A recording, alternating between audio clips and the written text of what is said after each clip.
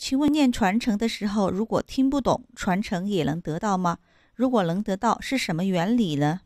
传承呢，就是比如说从佛啊佛陀讲了这个一个佛陀说了一句这样子的，就这本书里面记载的一个这样子的话，然后这个话呢啊不断的就是流传到现在啊，这个发埋啊，这个发脉就是穿啊穿底穿底，最后就穿穿到我们的耳朵里面，这就是原理。啊，原理就是这个。比如说，比如说，我们啊有十啊有十个人啊，然后呢，十个人就站在啊每一个公里的地方，就是站一个人啊。那么，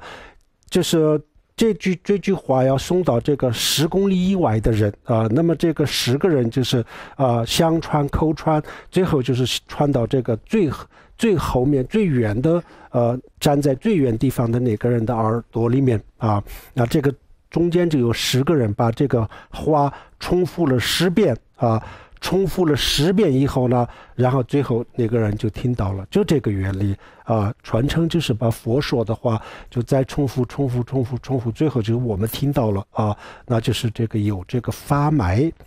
啊，就是这个原原理啊，所以这个如果是。呃，听不懂这个意义的话，最好是能够听得懂。那听不懂意义的话，啊，这个传承有很多的很多种传承啊，纯的、单纯的这个传承是，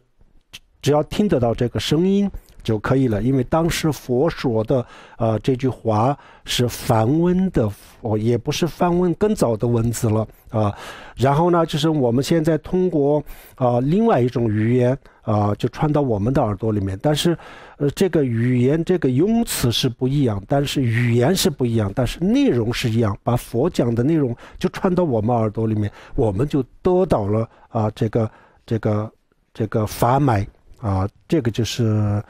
传承的这个原理，所以啊，就是简单的说，听不懂的话也是可，应该是可以的。